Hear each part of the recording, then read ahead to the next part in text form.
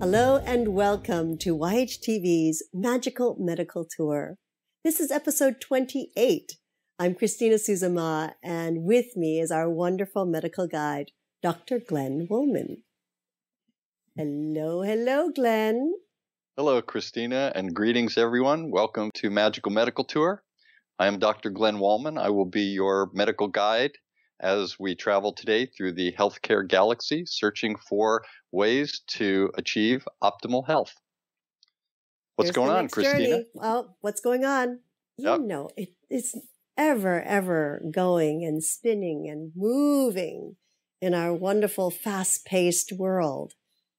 Yeah, we do have a, a interesting world that we all live in. Yes. Uh, I was thinking about uh, your program, Trinity, Trinity Mm-hmm. of Life. And you do so many things like that in your general life, but giving the opportunity to meet with other people and have them meet uh, the rest of the global community. What uh, what's that done for you? Oh, it's it's it's been amazing, like magical medical tour. I mean, I, I've always wanted to be like a, a st- I, I feel like I learn pieces of things, and it's like the tip of the iceberg. Everything is like just droplets from the iceberg of all these different areas, Mm. and and it, with all these the experts, with all the the masters, with all the wisdom keepers that that you know, and, I, and that's how I feel about doctors. I mean, they're wisdom keepers, and you know, they're ever challenging themselves to the next level and the next level, and and all this knowledge is just so exciting. I mean, I get so jazzed by it that I want more. I want more. So I can't wait to expand all of this. And of course, then we have these wonderful, inspiring um, individuals. Uh, for example, recently we interviewed Ms. Phyllis Sues, an 89 year old lovely woman who started yoga at 83 years old. Well, And from yoga to dancing tango to arranging and composing her first two CDs. And I think she was 84 when she did that. And then also now she's, uh, she's just stopped trapezing, if you can believe that. trapezing.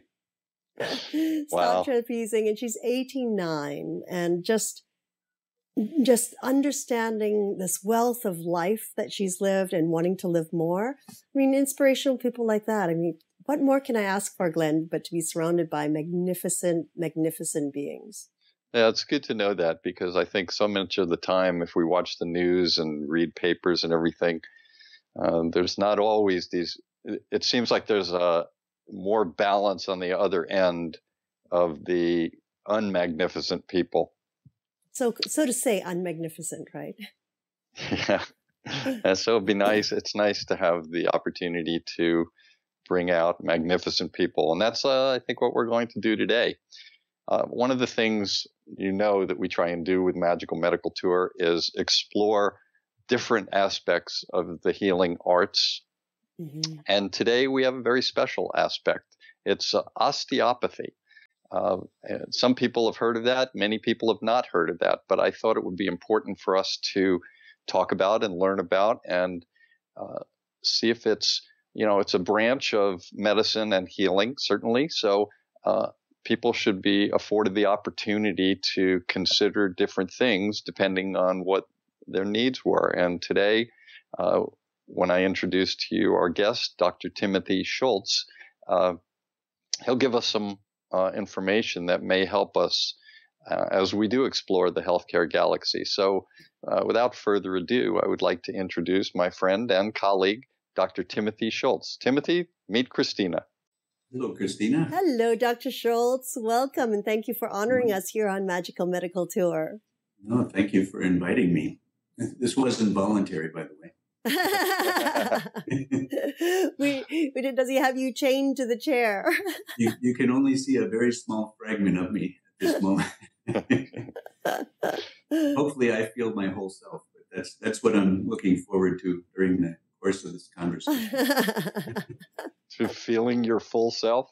Whole I hope that will happen. I don't know So, Tim, the way I usually like to do things as the medical guide, I like to tell our uh, global community and viewing audience uh, the path that I intend to take, knowing full well that uh, it could go anywhere.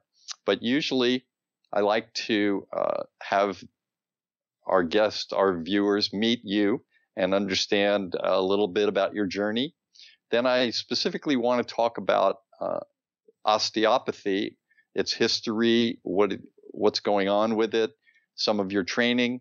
Then I want to go into uh, what's happening these days, what you're doing, and talk about uh, medicine and osteopathy and and things that osteopathy offers to uh, our global community for health, and then uh, go from there. How's that sound to you? I should call you Copernicus or Galileo. uh, I, Copernicus. I think Galileo was uh, was uh, tortured, so I don't really want to do that. So one of the things that we talk about with all of our guests is we try and find out where, when, how, why, what what made you become just a healer? What what brought you into the healing arts? Where were you inspired by that? Can you tell us a little about that today?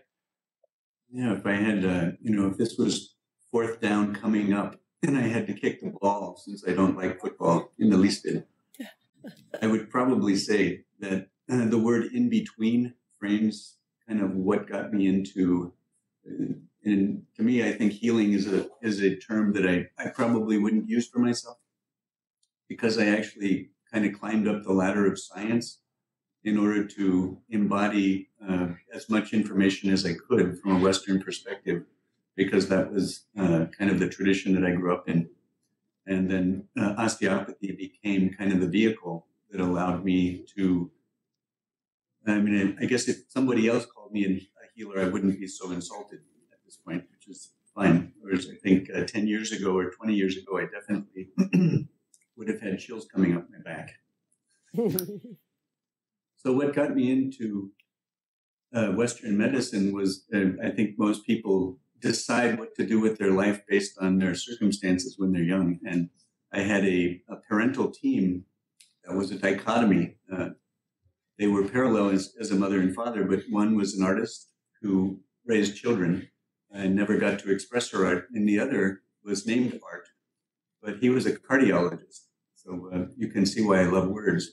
It's just they were always flying around me. Uh, her name was Ruth, and I, I can't but help think that there was a T somewhere missing in her voyage, and his name was Art, and I think it went to heart. I won't, I won't go where it might have been otherwise. so I was inspired by that dichotomy between feminine and masculine. Uh, in their embodiment, they were a, a very Western dogmatized a cardiologist and kind of a, a, a, Kentucky housewife who migrated from Illinois. So as she uh, aged and got sick in her 60s, I decided to come back home and take care of her in her final days. Mm. And that journey allowed me to see both sides closer uh, as kind of a gap junction between uh, the, the mother and the father, the father who tried to be a good doctor but had to be a husband as well. So it was a, it began as a personal journey and that seeded, if you want to say it, fortified the seed in, in my resolution to stay with a path that was so difficult that um, most people, as my father told me, uh, he wouldn't wish medicine on his worst enemy because it isn't necessarily an easy route for a lot of people to take, and especially someone with an artistic disposition. Anyway, that that I think led me into the, the healing arena, and uh, if you want to say the the achievement of be being able to measure up to the expectations of what both parents, I think, planted from a very early age, and then kind of finding myself in the stream without knowing exactly why I got there. The information came later because all the little pieces were floating around. How did the information come to you? Uh, you mean the little floating pieces of driftwood? yeah, exactly. yes. Uh, occasionally, there's a leaf and maybe an old inner tube, and well, that's my favorite. You got that one. Okay, so there is. Uh, people would always ask, "Why did you become an osteopath?" And they used to think I was joking because I, I do tend to like to do that, but I wasn't joking at all. I said I like the letter O, and it seems like a casual response. You know, it says it's inner tubish, but the the idea that somebody can be drawn to shape is not outrageous. There's a, in, I think it's uh, in psychology term, there's something called implicit egoism. And if you have a name, uh, say for instance, that symbolically stands for something, and you, uh, for instance, find yourself becoming a dentist, you have no idea your dad wasn't a dentist. You look up in the phone book.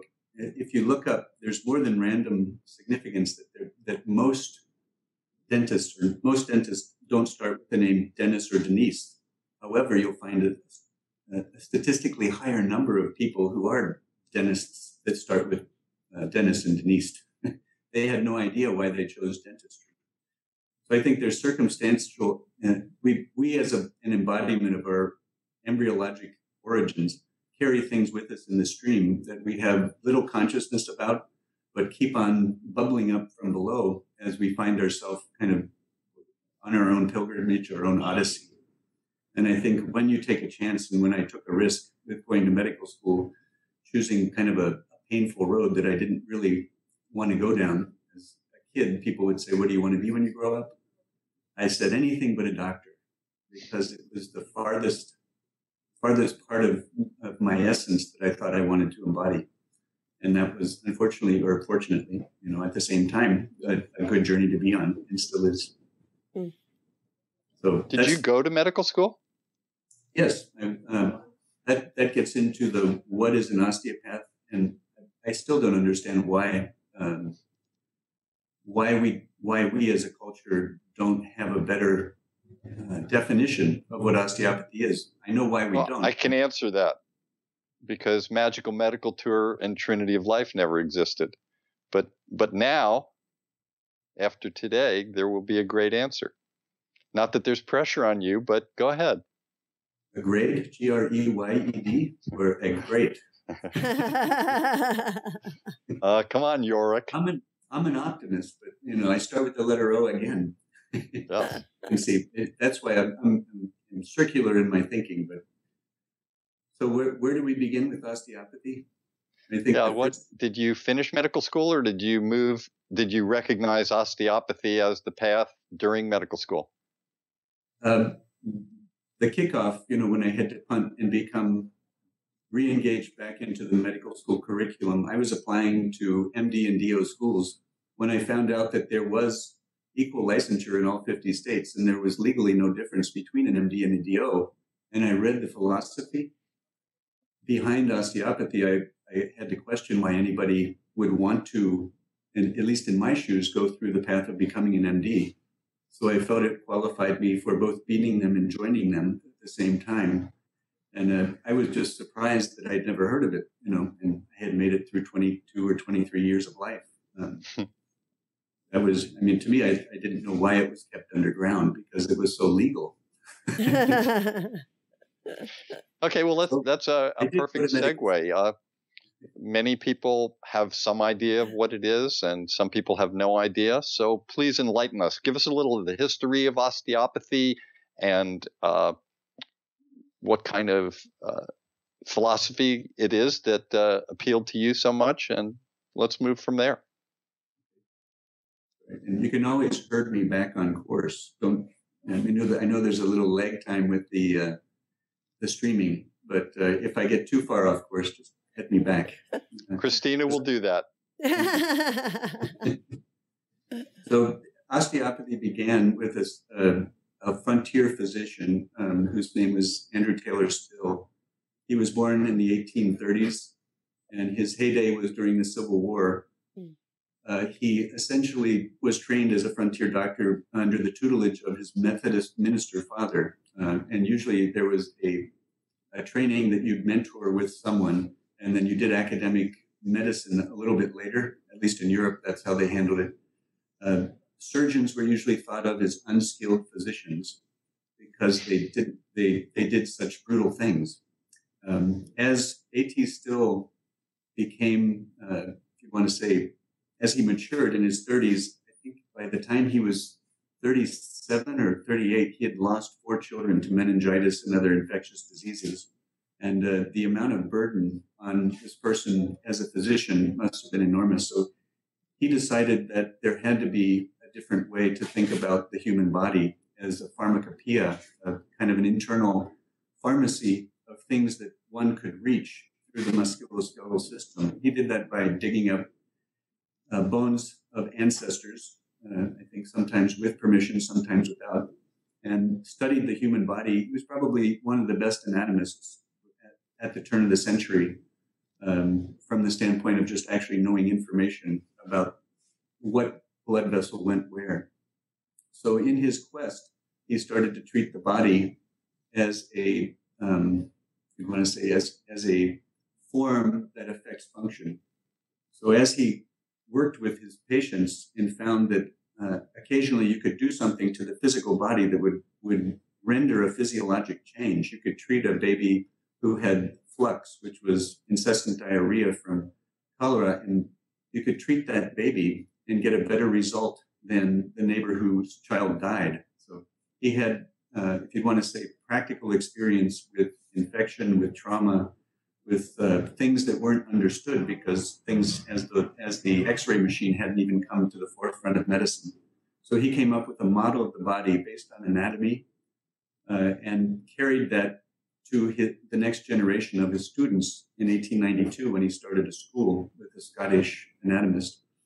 Through that course, uh, they trained, I think, 17 or 18 people the first year, half of which were women, uh, to kind of go out after a two year study program and start to work with people as a soma, as a physical embodiment of, of uh, if you want to say, the, the patient became the laboratory. The disease was in, interesting and influential, but the laboratory was what you needed to study.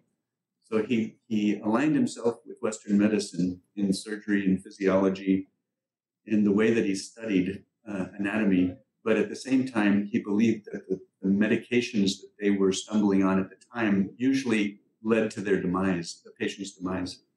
Uh, and he wanted to kind of clean that up from the from the a non-allopathic standpoint. So the word allopath means of an MD persuasion. The word osteopath is kind of a strange word. It's non-allopathic, uh, and it belongs to to the tradition of other modalities such as homeopathy, uh, chiropractic. Um, mm but it is the only branch of non-allopathic medicine that's fully licensed to do surgery, to prescribe medications, to manage patients for any condition that they would be managed by an, equivalent trained MD. So that was, uh, anyway, that was his introduction to the American culture. What happened from that point on was a lot of fighting until probably, I think the last state to legalize osteopathy if you want to call it legalization, to give us full licensure was North Carolina, and that was as late as 1979. Wow. Yes, I remember working in hospitals. At at one point, uh, suddenly there were a number of uh, osteopathic doctors that came in, and there were a few little skirmishes here and there between the medical staff. How many things could they allow them to do? Did they have to be monitored by someone else? And mm-hmm. then suddenly it uh, that disappeared also, and there were uh, everyone was on committees together, and people were doing surgery next to each other. Uh, there seemed to be no difference at one point, whereas at the beginning we had no doctors of osteopathy when I first started in medical school and uh, working in the hospitals. So what what is uh, you talk about? It has to do with illness or disease has to do with form and function. Is that is that where that goes, or is there more to that? Um, there is more to that because the the idea of osteopathy um, being rested in the, the physical soma of a person is it's reduced to anatomy because that's the easiest way to study it if you are serious about um, gaining uh, intellectual intimacy with the body. I mean, if you don't understand shape, uh, you have a hard time conceptualizing. If you don't know your hip joint is round, for instance, if you're a practitioner, you're in trouble. But if you're a uh, patient, you're still in trouble because occasionally, if you can merge the two systems so that the role of a physician is a teacher, the role of an osteopath is to from a palpation standpoint to educate their patients as well as they can about as as though you were an owner's manual about the, the body that you have, both from a, an experiential standpoint as well as from an intellectual standpoint, using again the models that Western medicine proposes, and then coming up with some of our own hypotheses and models about what integrates the body as a whole mechanism, um, things that even Western science and neuroscience, neurobiology uh, is only starting to bridge. I mean, in, in the most, uh, I think it's still in the infancy stages, but they're starting to conceptualize incredible models for how the hand is really part of the brain. It's no longer a thing that's way down there on, as a uh, you know cleaning device at the end of a long pole that's getting cobwebs off the 14 foot ceilings that we operate in. Did I go anywhere uh, too distant from the source? I, I was just in a cobweb. right. So I'm back now. Thank you for bringing me back. No, my poetry Uh, teacher. I still was- want to get more of the concepts of osteopathy. So maybe I can ask you this question. Uh, when I was reviewing your biography under teachings, you had something titled Expanding the Osteopathic Concept. And, and I'm assuming that was a course or something that you taught and gave back to new students. Is that correct? Yeah, that's right. A Okay, very- so when I when I read that, expanding the osteopathic concept, I went off in two directions. One was the direction as if you were spreading the word of osteopathy, and the other was taking uh, what is it, Dr. Still? yes, Yeah, what Dr. Still brought into the program, and then expanding that into the 21st century. So, which, or is it a combination of the two of those? Is it that you How long, teach? how long do you have? The, the, the expanding the osteopathic concept was a carefully chosen set of words um, so that it was the, I mean, back all the way up. You did definitely go two different directions, but neither one were correct. Excellent. it's good. The, at the very beginning, osteopathy realized the bones and the blood vessels, everything was related. There was reciprocal tensions in the body that people studied, and they studied it with their five fingers on each hand. Um, being a 10-fingered osteopath in the olden days was the common practice, whereas now, let me just kind of distinguish, and I'll tell you where we're going again. But first, currently, if I would call myself an osteopath, it's kind of like saying I'm an allopath. Most people would lose what I actually do because I'm not really defining. I'm, t- I'm defining the style of practice rather than what my license is. So if I said I was an osteopathic physician that specialized in neuromusculoskeletal medicine, you you already cleared the room by then. Nobody even cares. so that's unfortunately how complicated it's gotten. Even though we're supposed to be very general in our training, if you if you don't become specific, like in the licensure that I have, I'm board certified in neuromusculoskeletal medicine, which means I practice medicine, but I am trained philosophically and both practically as an osteopathic physician with 10 fingers. That's my legacy, and if you want to call it my uh, cultural legacy to the original, the originator of osteopathy. So I still feel like I have a tradition that I'm keeping in line. Uh, I'm still an oak tree. I might be a California oak, a little extra nutty. I, I still have roots that go all the way back to 1890, 1892 or maybe 1874 when the, the banner of osteopathy was flung to the breezes. Um, so anyway, I'll go back. Expanding osteopathic concept is a term that tried to clarify the difference between what an osteopath does when he treats or she treats the cranium versus when a lay practitioner or a uh, somebody studying craniosacral therapy uh, teaches a course in cranial osteopathy. In the 1930, um, as far back as 1930, Dr.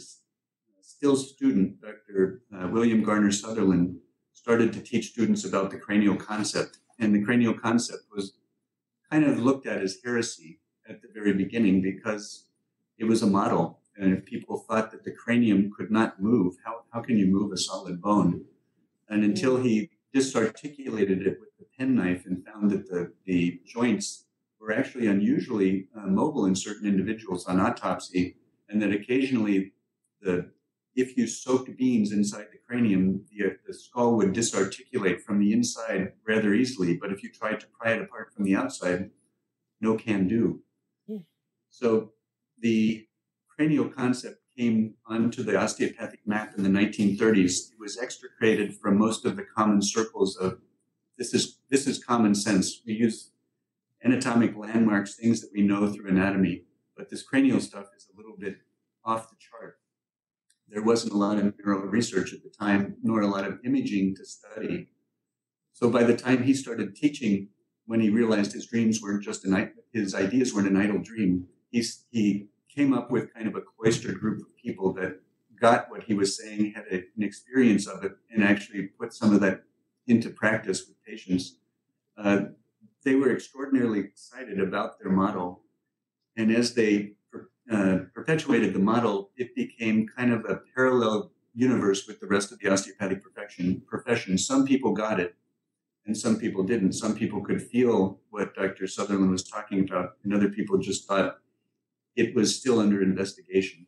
Um. And it still is under investigation. So the concept when we would teach the courses, usually with Dr. Frymann through the Western University, which was then a different name, she wanted to make sure that people understood that we were furthering the concept of osteopathy by teaching the cranial concept and didn't want to use such of a specific name. So sorry for that, but it is it's an important detail, but it's a detail of a detail a detail.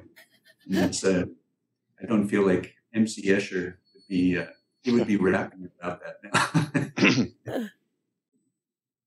so sorry, Glenn. That was uh, a long. I think one of the things that uh, will help me in determining uh, a little more about osteopathy would be I I'm uh, under the assumption that you work with other MDs at times.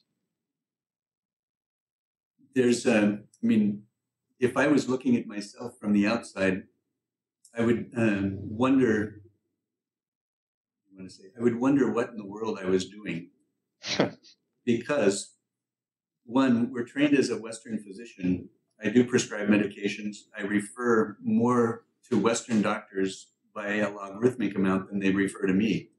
But it's really because they don't have a concept of the, I don't want to call it a gift, but uh, of the, the vision that osteopathy harbors not only as a tool for allopathic medicine, but also as a tool for this for the, the person using it to embody. Uh, and again, I don't. I, I want to say it borders on a religion, but it borders on a religion that's actually a philosophy that's part of the practice of medicine, mm. and it, it allows us to not lose our soul in the in the art of practice, which I think is an integral part of medicine. Uh, you either have to put the heart back in after it's been removed, or as an osteopath, you hope to have the heart built into your your matrix of the practice as as it develops and as you learn from the patients that you're you're confronted with or confounded by.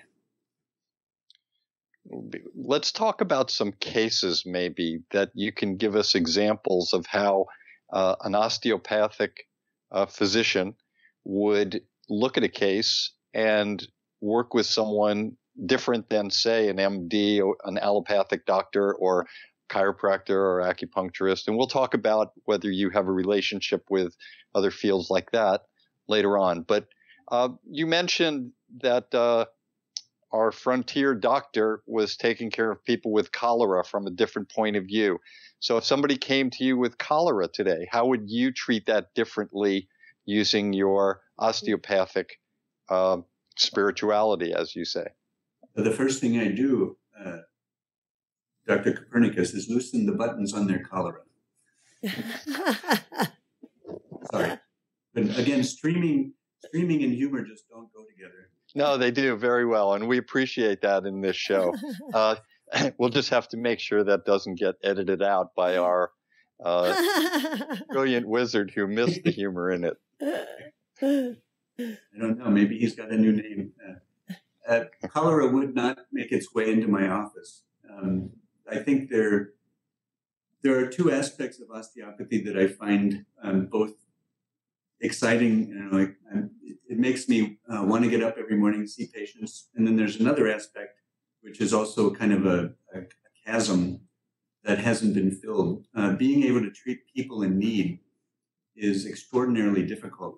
Um, I think I heard somebody on the radio on the way here who was talking this morning. He was talking about um, going to South Africa in order to do acupuncture on patients in, an, uh, in a needed uh, way and as an inner city clinic or some kind of a clinic.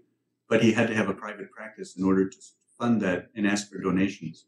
And there's an aspect of osteopathy that is not funded by insurance companies. Mm. So the difficult part for me is to uh, find out how can I balance what it is that I love doing that I think is a great medical route for patients. Um, and I'll get into, if you focus me later, I'll get into what that uh, medical route is.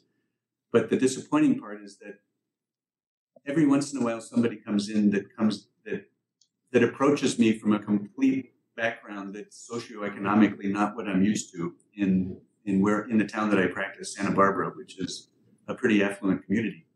Um, but someone could come in as with a, a money order for a fifth of the amount of the visit's charge, you know, less than Medicare would reimburse a physician for the office visit. And there's no re- way I could ever say no to a patient like that who needed, who knew that they needed osteopathy for their child who had a, a birth defect or something like that, because Western medicine doesn't have an answer. Mm-hmm. So it's not that osteopathy has an answer, but we have way of working with that patient from both perspectives, from looking at them as an anatomic creature that has the same needs as every human being, trying to get the health of their body promoted, even though they may be in a state of active disease, you know, like cholera would, would lead a person. So as an osteopath, even though we pay attention to the disease and know what it may cause, you know, bloody flux or diarrhea or something in that specific example we used earlier with Dr. Still's treatment, we still want to pay attention to what we're finding within the individual, which may be unusual and make no sense in the context of that disease. But we're using science in its best form, which is direct empirical evidence-based medicine. You know, evidence is in our hands in front of us. So we're getting a direct contact with the patient, their experience, their emotional experience, their physical experience, as represented through the way that they bring their body and throw it on the table, or we watch them walk across the room. So we're getting kind of an insight into their background, their history, their culture, their genetics, physiology. And it, it is very complicated, but you still reduce it to a simple model so that you can help the person along. And then you have kind of criteria for health that we like to establish. So we say, Are you feeling better? Because I'm feeling you're feeling better. Hmm. but, you know, if it makes me feel good, I figure the patient must feel better. But it's not always true. No. Some people don't have a sense of humor. uh, give me give us a, a little more of an example. You talked about someone that might come in with a birth defect that Western medicine has no uh, answer for. So give us give us an example of that if you could, and then take us th- through what they did maybe in Western medicine and how they got to you, and then what you saw and how you were able to work with them. Keep it really concrete because unfortunately, you know, my earphones feel like they're kind of atmospheric earphones at this point. But the the idea that someone comes in with a birth defect is could be as simple as what a radiologist now would call normal an anatomic variant. An elf, the lower lumbar spine could accidentally fuse itself with the sacrum, mm. and maybe it's just on one side. So that's something I've seen over and over again. You saw a Western doctor or an orthopedist, they would just say that's a normal variant. And we would say it's a normal variant too. However, it is a congenital birth defect uh, by definition. And the way that it affects the human being is outrageous. In, in, other words, it could cause things like 10 to 20 year early degeneration of the same side hip. It could cause no back pain at all. It may only cause tendonitis in the in the leg. But if you if you looked at it as a category of disease without paying attention to what that actual construct that actual anatomy did to the to the body as a whole, you'd be missing what the patient was bringing in. So it's a it's in a way it's returning to the roots of making sure that you do your your do perfunctory exams as though you were a general practitioner, ask questions as though you're a neighbor, and then kind of further that along and say, but I'm a doctor too because I went to medical school. At least I think I did, unless I'm, I'm having a, a fugue state. Um, so you can bring that into the patient's experience and say, uh, let's come up with a plan based on non-allopathic diagnosis. Let's come up with a plan based on allopathic diagnosis, and let's mediate between those two. Let's see if you and uh, usually there's a bargain that you make because if they don't like surgery, you're not going to get them to see a surgeon until they're absolutely necessary. Uh, you know, until they actually kind of hit a bottom. It's like AA. When you hit the bottom, you go to AA. You can't really rely on somebody supporting you. And I think pain does that to a lot of patients. They have to hit the bottom first in order to motivate outside of their own belief system, which uh, I try to kind of be devil's advocate and sit on both sides of the fence and say, I think that doctor, know, the neurosurgeon that we know over across the street or the orthopedist down the block would really like to kind of look at that film and see if he could offer a non-invasive, maybe a scopic treatment of the of the low back. You know, if you had a sacral fusion, maybe you're just having neuroforaminal. You know, the nerve where the spine comes through, the opening where the spine comes through may just be narrow. Hmm. So maybe the best osteopathic solution is removing the obstruction surgically rather than treating the patient for 18 years and then getting mad at how much work they went to and they still ended up having had surgery. Or they may be very delighted that they got to spend 18 years without a scalpel. Mm-hmm. Uh, so you, you have to come up with a plan with the person based on what they're willing to go through. I think we're at a point in Western medicine when, when it, when almost oh, I don't know, I'd love to see the percentage, but my estimate would be 70 to 80% of most procedures are almost elective, if you want to consider them that way. Mm. But you, if you were looking backwards the other way, if you just knew Western medicine, those aren't elective procedures. They just don't know what the other options are. Let's take, uh, so when you have that child that has the fusion on one side, would you start do and and you didn't think that surgery might be the answer in this particular case, what would you do uh, to help them? In terms of, uh, is there anything you would do? Would you do uh, try and change form to change function? Would you do manipulation or adjustments, things like that, over a period of time? You're going to hate this answer, but I, I can't. I won't hate your answer. Uh, I would have to actually not even think about the patient if it was a child. I'd have to go right to the parent's belief system. Okay. Find out what they were willing to do on behalf of the, child. I didn't, I wouldn't want to sell them something they couldn't follow through on. So if I cost a thousand dollars a visit, which I don't, then and I told them it was necessary for that child to be treated until we felt there was no what we call somatic dysfunction, which the area kind of feels like the tissue moves past the obstruction um, and you can do that physically. You can do that by making suggestions of activity change. If I suggested that to the parents and kept that child captive in my own domain, I would have to be absolutely sure that what I was promising was going to be a future blessing, which I don't think anybody can do. So you can kind of sell them something that sounds like good common sense like let's see the child back in three months to make sure that this is not becoming a chronic problem. Or mm-hmm. you know don't worry about it now let the child grow up. When he starts or she starts to do physical education before they start doing a lot of hammering and running during their adolescence and puberty make sure to bring them back. Because if they're too loose their joints are loose at that time they're going to start to do some significant damage. Whereas children i mean they're so happy most of the time if they're in a healthy household that they should have enough allowances towards health that they're actually fixing themselves. We're just kind of tinkering, if you want to say, we're just kind of coaxing them. Strike, strike that tinkering from the record, uh, we're actually just looking for them to inherit their health from the standpoint of removing obstruction. Mm. Is that is that still clear? But you're, you're I'm still I'm still working here uh, I still have a lot of of interesting thoughts that are like sugar plums and things dancing through my head, but I need to I need to be a little more concrete in the process now. Uh, and maybe uh, another question about let's say that child who had the uh, anatomic variant from Western point of view versus uh, the uh, another variant from an osteopathic point of view, a defect.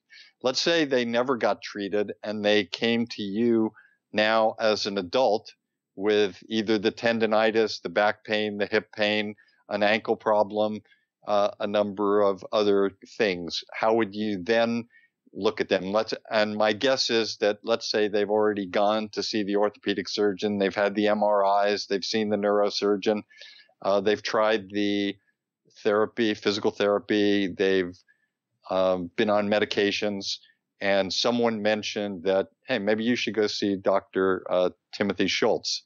So that person now comes to your office, uh, and you, what do you do? I, I think the uh, the construct would be to review the records because I, I used to always trust that people who were in a specialty knew more than I did. And then I, after years of practice and finding little loopholes and assuming that that was right, but then checking later, getting stories from patients, people calling back over the years, is oftentimes that the specialist is just doing their best job in the specialty, but without deference to hmm. origins of pain. So that, for instance, if a person came in, I would want to make sure that we had at least a plain film to re-verify that that was congenital, you know, L5S1 and I wouldn't let the radiologist interpret it. I would make sure I interpret it myself. And that I'm not trained as a radiologist, but when I have discussions with the radiology friends that I've acquired through use of telephone and harassment, um, are you sure this isn't a is this normal anatomy or am I? So I've, I've gotten a little bit of read experience. So I would want to make sure that what I was feeling was was or wasn't really there. You can do a palpatory diagnosis. You can confirm it with radiology. Sometimes the two don't feel like they're confirmatory. So if the patient came in, I would want to, one, be an osteopath, feel what it was that was going on in the hip joint as a result of the sacrum and the ilium, the sacrum and the, the lumbar spine getting too close.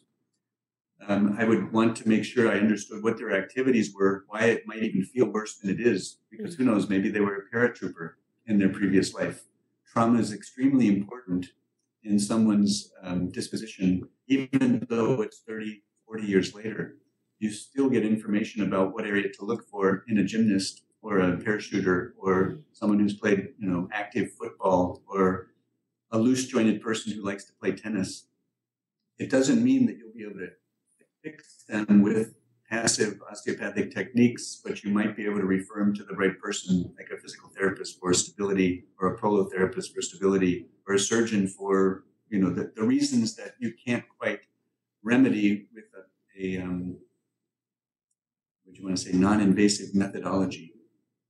There's a orthopedist named Centeno in Colorado who came up with. I think he works for a prolotherapy business, but he came up with a protocol called Orthopedics 2.0 which is freely downloadable. And it's a nice um, treatise on the spectrum of body care through massage, self massage, Jin Shin Jyutsu, Rolfing, uh, Feldenkrais, and the spectrum of the other palpatory modalities as seen through a physician's eyes uh, from the standpoint of, in his case, I think a prolotherapist, maybe an orthopedist.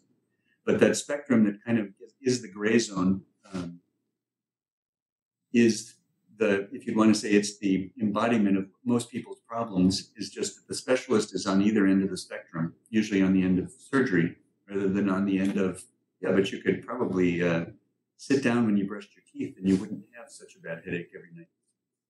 Mm-hmm. sometimes there's a simple solution. Wow. I got lost. Sorry, the teeth brushing completely erased the question from my. Where were we again? it's like uh, it's like dental floss or something. We've oh, moved on. Uh, I, I'm trying to understand that when the person comes to you as an adult, you will analyze them, try and figure out the problems, and once you have what you consider a diagnosis, at least a working or a differential diagnosis, then you start uh, doing things. And the things that you do might be uh, changing physical activity, being aware, maybe nutritional changes, maybe prescriptions. Do you do any manipulative or manipulative types of procedures? And if you do, are they different or similar to a chiropractic type of manipulation?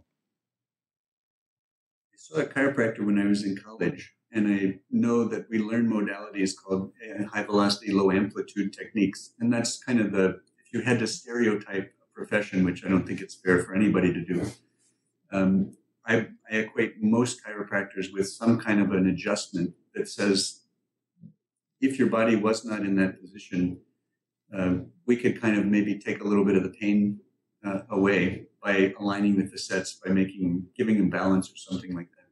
An osteopath learns those modalities and sometimes actually kind of relies on them as a standard for their practice. And I didn't, I wasn't one of those osteopaths. To me, they, it saves a lot of time. So the patient visits can be shortened, but the, the level of, of diagnosis goes down by um, a large stripe. Mm. So for me, if I if I can't spend the time to diagnose a patient, I can't treat them. So a lot of the patients that I see will ask me, "Is this the treatment?" And I'll say, "Yes." And they'll say, "Isn't this the diagnosis?" And I'll say, "Yes," because the two should be so close to each other that if you're if you know how to receive a treatment after you know usually patients are kind of complicated. They come in and some people plop down on the table and they fall asleep. Other people are anxious. And if I touch one area that's hypersensitive, they stiffen up for five minutes. Some people actually just lay on the table and after 15 minutes, their body feels as good as if I had treated them. So observing those things uh, is really important in the way that you come up with an allopathic and an osteopathic diagnosis. So if you have a patient that's, that's completely relaxed, that's a good start. If they're asleep, that's even better start. However, if they're asleep and they can hear you talking, that's a narcoleptic. yes, and we had Dr. Andrew Binder who gave us a nice uh, talk on that. I have, that was this patient I was referring to. Thank you. so there, there's a way of making a diagnosis that's non-invasive that makes a person feel like they're being cared for that uh, allows them to feel like if you'd want to say that even though you have no idea what the person's doing who's evaluating you it doesn't feel like they've just made an assumption um, from an intellectual vantage point only um, and that that opportunity of kind of putting the again i don't want to be corny but putting the soul or the heart back into medicine goes a long way, not only with patient um, diagnosis, but it also goes a long way with the rapport that you have for the people you're taking care of. Mm. Because otherwise, you, you literally are an industry that's going to drive a country into do great things. You have technology, but if you're not that person who can interrelate, you will just be another, if you want to say another example of why cataract surgery is so great because you can see again. But you won't understand why you know, your, your cataract had something to do with your depth perception or had something to do with why your neck got torticollis or why you couldn't quite look at your family the same way when you got to that age of the cataracts. It could be a different embodiment, philosophical embodiment of an emotional pattern, of a physical pattern that's wrapped up into the same thing. And in osteopathy, to me, it's the, the it is the essence of the profession to be able to look behind the curtains and see see the essence of a of something that somebody won't tell you because you're a stranger. Then, um, when people, you said you had mentioned that you you make referrals to MDs. Sometimes you see something that an orthopedic surgeon, a neurosurgeon might be able to operate on and get the person relief. Um, MDs make referrals to you. You you mentioned that a little bit. What type of cases do they refer to you? Uh, usually ones that they're not sure that they have a good diagnosis, or on the other hand, they don't have a good surgery for. I think someone said it best who was a surgeon. They said the first 10 years, any surgeon is really capable of doing a, a brilliant surgery. They're just gaining experience. The second 10 years, you try to find out who's the best patient to do the surgery on. In the last 10 years of practice, you try to find out who not to do the surgery on. Because years of practice, you want to avoid problems. that was and, a nice, uh, nice story there. So I, I think um, for me, when someone comes in and have, has been referred by a physician, one, I feel really honored because I think they might actually know what I do. I'm usually surprised to find out that when they go back to talk to the uh, physician, the patient still has a hard time describing what I do in allopathic terms, so they they don't come up with a better vision. Uh, I think one of the best ways Harvard has a, a course for allopathic and osteopathic physicians in neuromusculoskeletal medicine.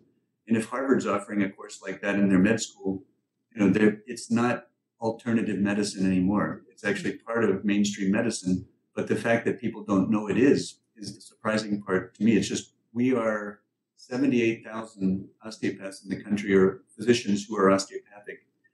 And of that 78,000, 881 of us have neuromusculoskeletal degrees or specialties. So not to say that the rest of them don't do any manipulation, they just dermatology you know, if, if you're an orthopedist, you don't do dermatology. You don't feel like you're an expert, but you still have skin. Mm-hmm. So if you have a funny looking mole, you know, as an orthopedist, they'll say go to see the dermatologist. Mm-hmm. If we had a funny looking condition, I would expect an orthopedist to say that might be thoracic outlet. You know, maybe if you saw an osteopath, we don't have a good way of treating that allopathically. We don't have a surgery necessarily because we can't find a specific, you know, can't find a rib that inherited that's an extra rib where we can't find a nerve that's being pinched. So maybe try functional medicine. And that, unfortunately, I think right now, because there's so many more physical therapists that are well trained as doctorate, uh, you can send somebody to a DPT and let them manage your patient. And that's a funny thing because are they doctors? They kind of are. But the insurance companies like the patient to have a referral could they be their own doctors? Or, and that may be a new development in the next 10 years is maybe physical therapists will start running their own healthcare uh, companies as, you know, adjunct physicians, kind of like physician's assistants. An osteopath still is kind of in that weird category of internationally, we're always different. The UK has 4,500 registered DOs uh, that practice just manipulation. They're not trained in medicine, but they really are good manipulation. They are kind of more akin to the chiropractor in this country. And in Germany, you can either be a, say, for instance, you can be an osteopath who's trained as a Heilpraktiker under that law, or you can be an MD who's also a DO who's trained as both. So you can see why the international community is different in every country. The United States is kind of the only one, or one of how many? I think there's there's 40 full licenses, I think, in the world. And we're the we're the kind of ones that are invisible because there's so few of us who do the osteopathic part. We don't we don't necessarily push that to the forefront because we're you know we're kind of the what do they call those guys the the old gray tanks uh, the things that are kind of rusting in the backyard. oh my gosh! I mean, I, I have to say I am I've been so quiet here because I'm thoroughly fascinated. I'm I would not have encompassed so much under that one title. I mean, as as uh, Glenn and our audience very well knows, I'm very much into the acupuncture and the natural medicines, etc. And to find out how what you do really spans the whole range, but also into the allopathic world. I'm fascinated. I, am truly fascinated here. Um, is there a certain age group that you tend to deal with more? It's a great question because the kids are the ideal candidate because as the twig as as the twig is bent, so doth the tree incline. Mm. Quote whoever that was, Alexander Pope. So that's the best age that you could possibly, if you wanted to, if you want to say, have a good reincarnation as an osteopath, you'd go for that group. Uh, to a certain extent, it's really hard to work on. For me, it's hard to work on children mainly because the parental interface, the cost of doing business as a child in a maybe in a non-insured situation, um, and then the belief system that I have to instill in patients that I kind of feel I have to be such a teacher and so clear. And as you can see, the concept's hard to convey. Mm-hmm. I don't want to be dogmatic and say, if you don't treat this child, you know, they're going to grow up with a handicap and all the other kids are going to point at him and say, look at that squirrely kid with limp. Mm-hmm. Um, because that's not necessarily what I think would happen. But on a certain degree, if I feel like a child really is in danger, you know, in physical danger from a circumstance like like a, uh, a visual disturbance, or I mean, hearing is obvious because that's already been co-opted by pediatricians. Uh, how important the senses are in childhood. But if somebody's actually got a physical disability that is going to make the rest of their life unfurl in an unusual way, there's an orthopedic condition called uh, femoral acetabular impingement. In certain people, they inherit a large uh, trochlear, a large neck of the femur. If the neck is large enough, it'll drag on the tendons in the hip and cause premature uh, hip osteoarthritis and hip failure, usually anywhere from 10 to, to 20 years early, maybe 15. Wow. Um, but the fact that that's known is still debated in certain orthopedic circles. The reason why it's debated is because I only know of one arthroscopic orthopedist in the Los Angeles area. Maybe there's more, but nobody really does that surgery. So what can you offer the patient but mm-hmm. come back when you need a hip replacement? Oh. And that's usually what people say. Whereas there is a lot of things one can do uh, while you're degenerating. to be a pessimist, but a lot of things you can do that actually kind of alleviate the body's sensing that there's danger. Sorry. I mean, I'm uh, so I I believe in in preventative.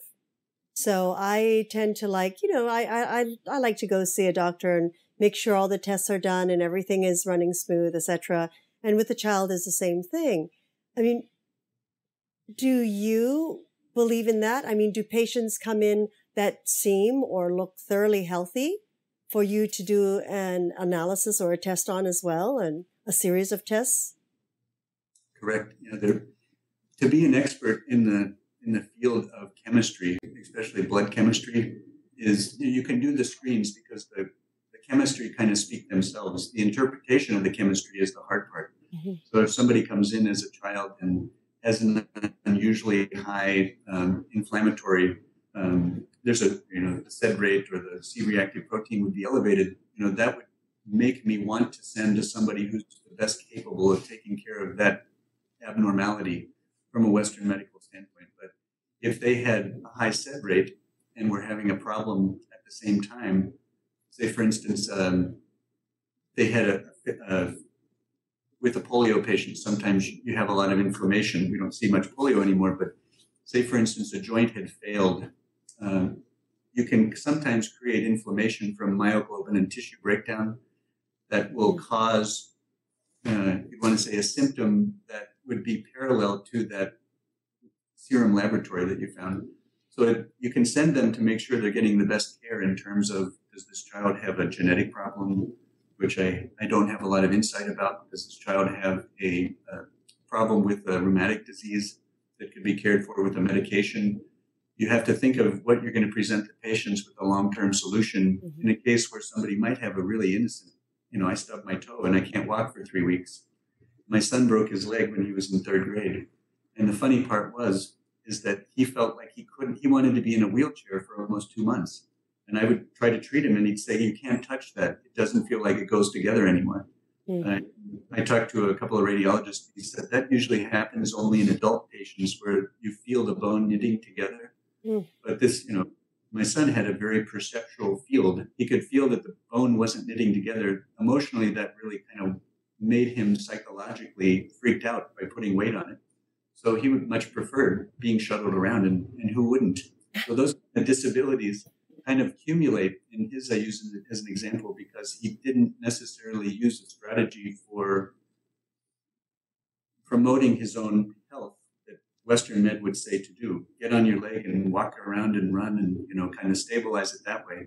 Mm. Instead, he was kind of more careful and needed to kind of test his waters and that was important for his psychological, you know, component rather than just physical component.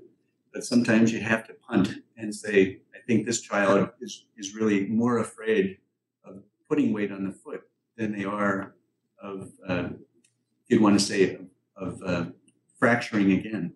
There's an irrational fear, and let's see if we can't tease them into, you know, chase them with a wildcat or something across the room. Or, uh, anyway, the, the strategy can be as important, I think, as the as the patient's condition, if it's really not something that you know what to do with from the back, you know, operating backwards from we know the diagnosis, we know what that's going to cause. You better do this if you want a good outcome. But mm-hmm. accumulating the information mm. would be the, the best. So any any age for me is, is a pleasant age to treat. And yesterday I saw an 81 year old that looked like he was probably in his if I was blind and I felt his body, I would have guessed he was 46 or 7. Oh my gosh. I asked him and I said, you know, what what makes you so healthy? And he says, I'm healthy. Said, healthy. Maybe he should meet the uh, yoga and tango our, dancer. Our 89 year old tango dancer, yes. we, we, we, could have a new program, uh, medical dating. Sending referrals through your uh, healer. Tim, do you uh, refer to alternative or integrative healers uh, like acupuncturists or uh, chiropractors or uh, naturopaths, or does what osteopathy do encompass those in certain ways? My imp coming out again. You know, I love questions because they're kind of like flies and gnats and birds at the same time. You have to separate into their own camps. But now, I don't usually refer to modalities, although I find acupuncture to be magical and, in a sense, 3,000 year old osteopathy that kind of happened in a different culture in a different uh, time period. Because mm. I think that the, the, the, the modalities are more important. And then followed closely behind, if not in front sometimes, is the person who's the practitioner matched with the patient who's going to see the practitioner. And I can't, I can't do match.com. I'm a horrible, what's that term when you call matchmaker? Chickva or something. I don't know. I, I know there's a word for it. I'm a horrible matchmaker, but I do kind of see where somebody could actually kind of have an opening of information that could lead them into a different direction from a physical standpoint. And occasionally people don't like to be touched. Um, so that person is a great uh, acupuncture referral. Not that acupuncture doesn't touch patients, but they do it in a very, very different way.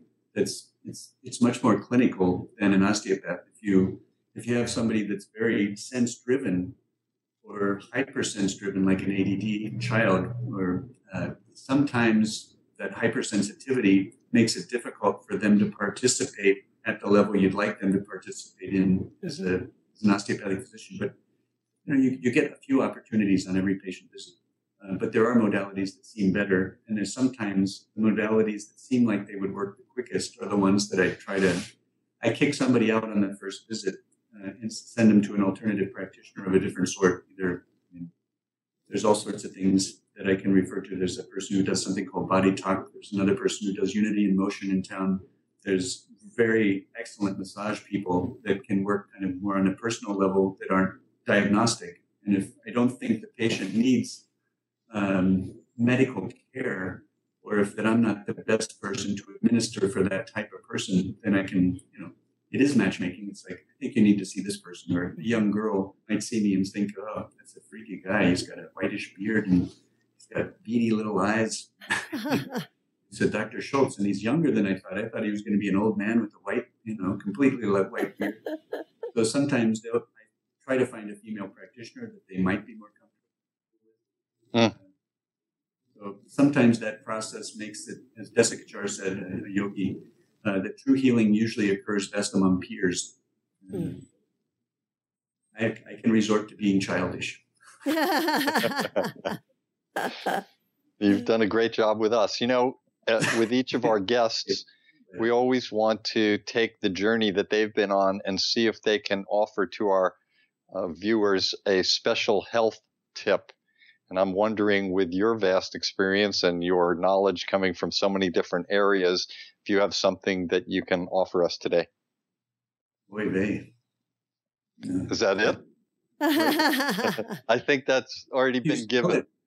I think Christina offered that once you spell it backwards and divide by pi. no, I have a. I'll tell you what, what comes to mind is this morning before I left, to treat my first patient before I did this program with with uh, kind of people. Um, there was an image stuck on a computer as I was closing it, and it just stared back at me. And it, it was an image of a plastic flower that looked real, next to a, as you said earlier, a roll of dental floss, and it looked like it was in two frying pans. And I thought, what is that? You know, why did my daughter take a picture of dental floss, uh, plastic flowers, in what looks like a frying pan? I said, where is that, Oli? And she said, oh, that's from your car. And I have cup holders that uh, has a little dental floss because what can I say? Sometimes things just that come in don't get all the way down or need to come out. so I carried in the car and I, I looked at the two, the dental floss and that little rose or whatever it was. And I said, Oh, flossiflower. so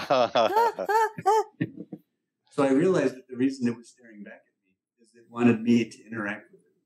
And I think that, you know, it, you know, we're doing the same thing here. We're all flossiflowers and we're looking at each other. We're kind of having an inanimate experience, but we're embodying, you know, some really good feelings underneath it also. As a health tip, I don't know how you can do it. You know, what part of your mind you have to go to or what part of your mind you have to get out of. But the symbolic representation of things that kind of become meaningful in your life and create a story, at least for me, is a good. Uh, it's a good way to move on to the next moment. So sorry, that's it's kind of a health tip, but then again, I guess you got to do do something to create that. Just hopefully, it doesn't hurt when you hit your head that hard. that's what the frying pan's for. that's what the frying pan was for. Double fry. So before uh, before we close, uh, you had asked me to remind you about talking about a medical route or route, and I also wanted to offer this opportunity in case there was something you really wanted to tell all of us that we didn't uh, bring up today. So here's an opportunity for both of those. Uh, I think if we knew the scale of the universe it would be really helpful to know what to do next. Uh, and the thing that fascinates me is that nobody really does. They, we live in it because we experience it. But when you think about, um, there's a guy that I read yesterday. I reviewed his article, so I, I could be fresh about my hands because an osteopath without hands is like a, a flower without floss. It's, it, it's only halfway alive anyway. But the osteopath without hands, hands are so sensitive that the amount at uh, at the MIT lab headed by this guy named Sri Srivastava, I think is his name. It's called the the Human and Machine Haptics Lab. He's looked at how how much can we feel with our fingers, and if if there's any doubt in your mind about trusting what we feel, the amount that your fingertips can pick up is on the order of 75 nanometers, which is less than the wavelength of most light. Light is about visible light is 600 nanometers. So when you think about feeling a bump of texture with your fingertip, you're actually communicating directly with your brain that something different has just happened on the magnitude that's as exquisite as hearing, vision, hmm. uh, and probably smell, although I couldn't they're all within the same realm of that nanometer, which is close proximity to where uh, where kind of essence, you know, where our, our perceived essence kind of starts.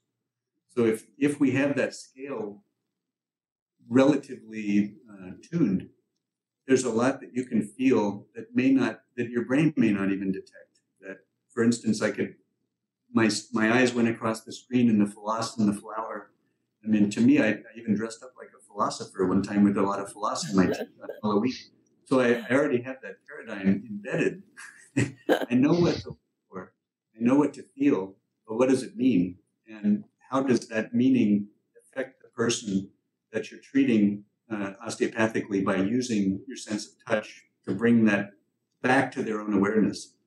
It's um, it shouldn't be something that always needs to be verbally communicated. And I think the essence of osteopathy and why it hasn't been understood for so many years is that one, it changes like crazy because it's way, like you said, the ideas just zigzag back and forth. But at the same time, uh, the scale of what we're trying to to teach is not easily verbalized. It's metaphoricalized. You know, we can. I love to tell metaphors during a, a session, and people, you know, they smile. Uh, cute doctor, he likes meta- metaphor. but to me, they're actually a really important lyrical part of the poetry of interacting with another person on that kind of a level. Uh, that sometimes what your hands are feeling is really something that you can't express. And if you say, for instance, the question that everybody would ask would be, well, then can you feel a very small tumor at the very beginning? Anybody can feel a very small tumor at the very beginning, but the the the ability and the responsibility that comes with that is so overwhelming that most brains would get sick in a hurry if they had to do that for a patient.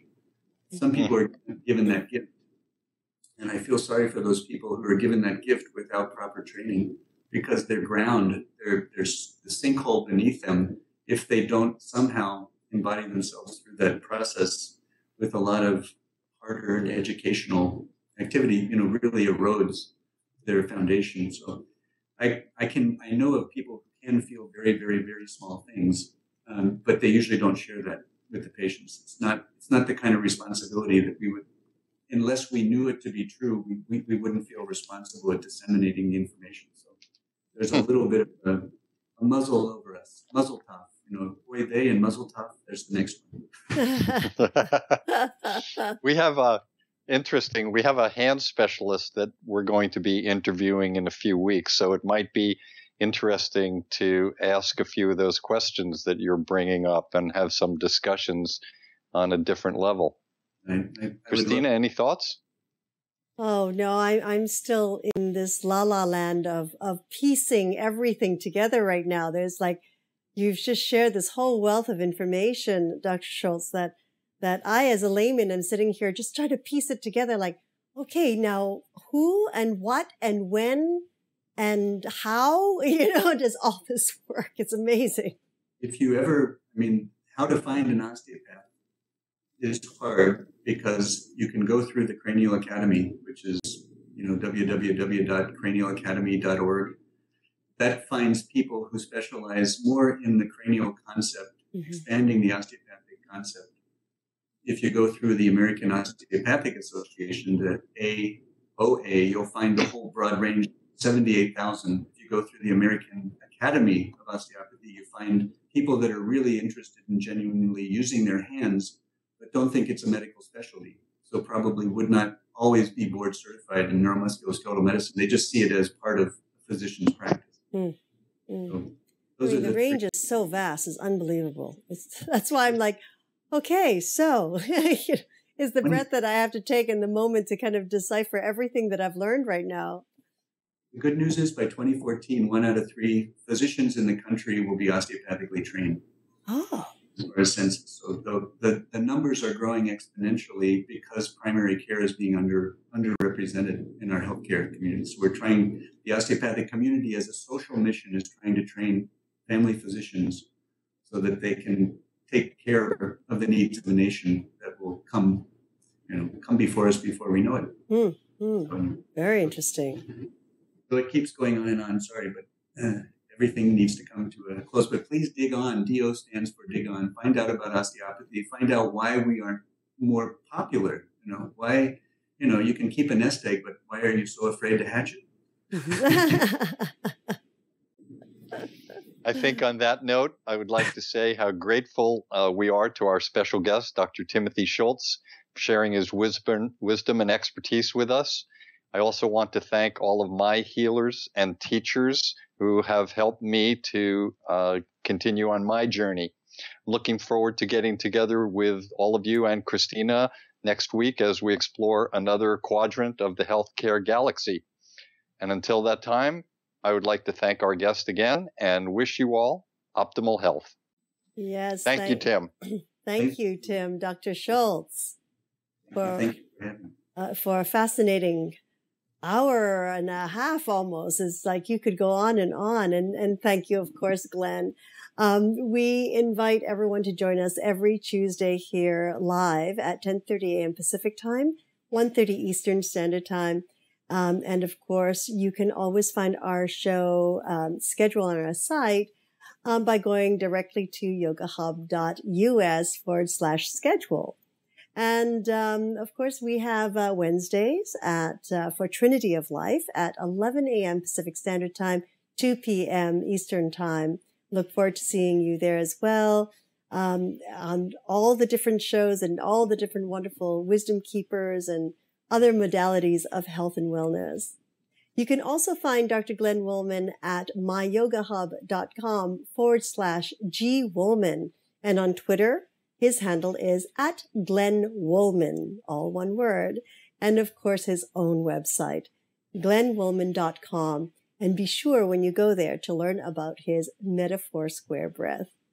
Until next week, thank you everyone uh, for joining us today, and we look forward to spending time with you again. Namaste.